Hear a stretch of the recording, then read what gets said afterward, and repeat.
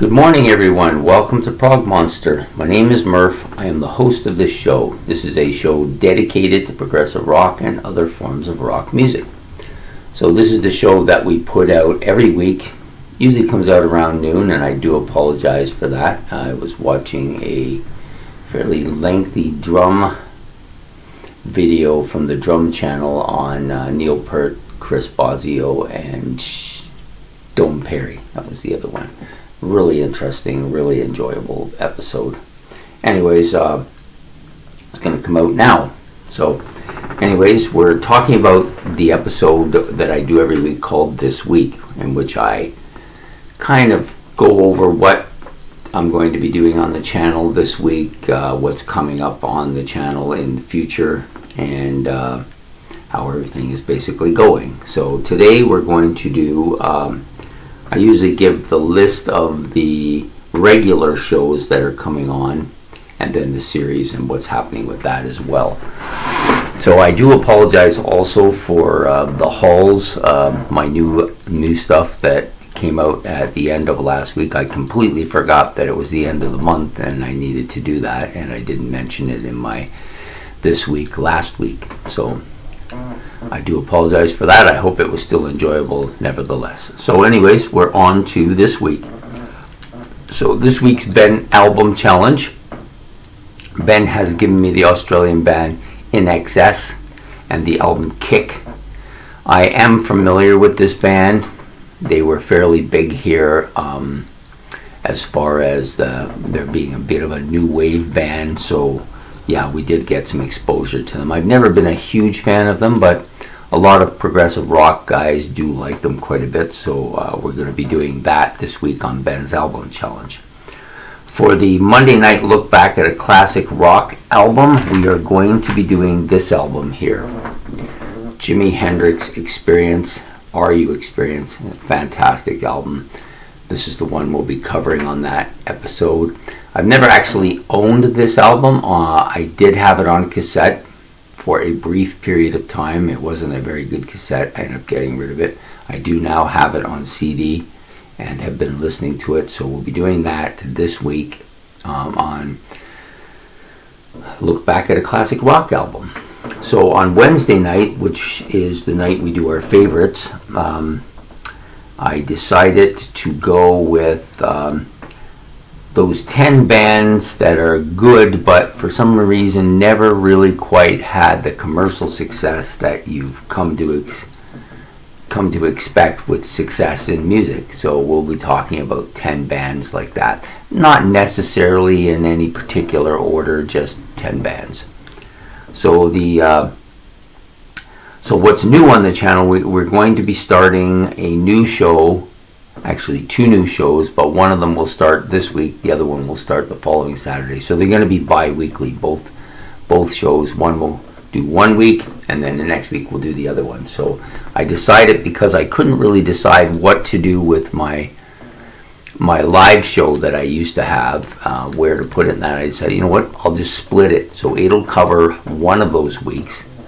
So it'll just, instead of be called, being called Friday Night Live Experience. It's just going to be called The Live Experience.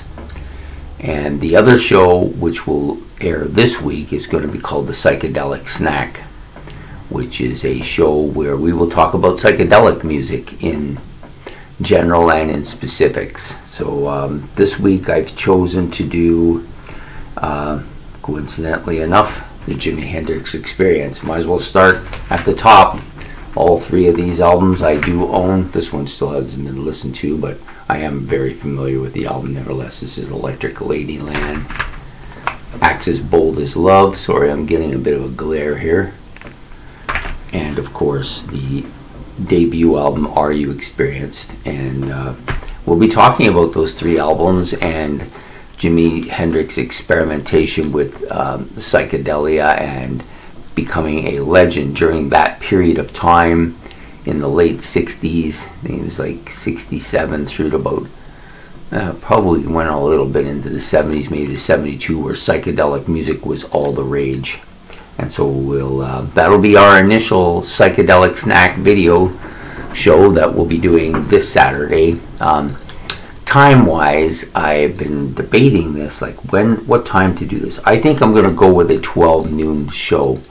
The reason being is that sometimes Fridays are really hectic and I'm really tired, and getting up early in the morning to do a show is tough. So I tend to get up at my normal time around 7 or 7.30, so I wanted time to prepare it. So I figure noon is a good time to do it, and we'll try that time slot out this week.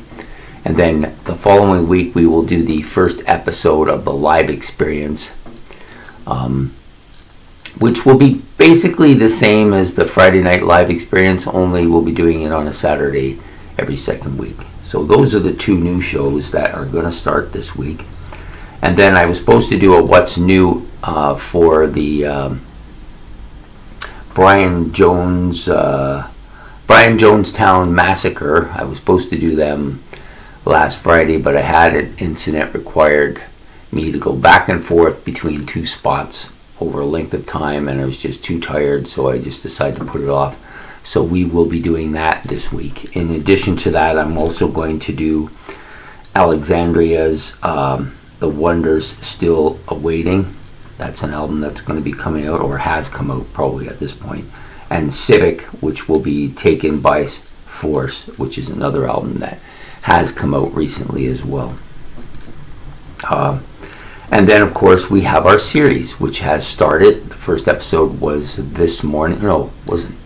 First episode was yesterday morning. Um, we started off with Ronnie James Dio and Ritchie Blackmore, two great dynamic duos, and we followed that up this morning with Rod Stewart and and Ron Wood. We have another six more episodes for this week. I won't give away the uh, who's going to be in what. I may change a bit of them around too, so I didn't want to get an order in somebody's mind and then change it. But uh, we have some good ones this week. I think it'll be fun. Most of these I think are pretty pretty straightforward and fun to do, and uh, we'll be doing them as well. So uh, in addition to all that, um, I've also been at work um, beginning to set up my mind and how I want to structure my ACDC 50th anniversary Rock Legends videos, which will be, there'll be four of them. I'm pretty sure there's going to be four of them. Uh, and I think I've discussed this a little bit. Um, there'll be one in the really early era when they weren't on a label and then um, had a first couple of Australian albums. Then the second label where they began to have some international success. Uh, the second one, which will probably go up to Back in Black, and then you'll have the Back in Black era from the, in the 1980s, and then the closing out era from the 90s onward. And that's probably how I'm going to structure it. I may change my mind um, if somebody points out something that I just didn't think of. Um, then I may change my mind. But I have quite a bit of videos to watch and some research to do to make sure I get some of the stuff exact and or not so much exact but more accurate. We don't want to portray ACDC in a light that they aren't. So, and uh, I've had people talking to me about doing Kiss as well. I still am not on board with that one. I will think about it some more, but I still have time to do it. Definitely, I won't do anything of that nature in June. June, I will be away for a week or so, so that kind of hampers the whole project. Probably in July, more than likely in July, I will do something, and then we'll see how it goes forward. Um, there'll be no more series videos until the fall in September. Um, ben has discussed with me about doing a debut album series, uh, Battle of the Bands. That probably will happen. I don't know if it'll happen in September or October, but probably by either one of those two months it will happen. And so that's pretty much it that I can think of. I don't think I forgot anything this week. You know, I you know got a little bit of the olds going on there. Actually, I don't I don't think it's my memory at all. I don't think it's uh, anything other than just being sometimes too tired and distracted by other stuff going on. So um, I do apologize if it appears that I'm losing my mind. I think I'm, I'm safe at this point in time. So anyways, I hope you will uh, come aboard to see some of these videos this week. It would be, it's nice. Uh, the launching of the psychedelic snack, it's been something I've been wanting to do now for a while. I do have a fair bit of psychedelic music now, so I feel like um, I'm, I'm good to go. I've got some stuff coming from Laser's Edge this week and probably a couple of different orders. I decided to go that week, that route this week instead of going to my uh, my favorite watering hole for albums. Mainly because there's some stuff I can't get at that place that it's it's imported or it's stuff that's hard to find. So I tend to go to Laser's Edge. It's a little more pricey going that route. Not because he charges too much, because he doesn't. He's, he's really fair about everything. It's not even the delivery charge, it's just the exchange rate crossing the border, the murder, right? But anyway, sometimes you got to make that in order to get the stuff that you really want. So I've got about 20 albums, or I think it's 19 that are coming over two orders. And I'm looking forward to especially the second order where I managed to get all four of the Wooden Nickel Styx albums, which I'm really looking forward to.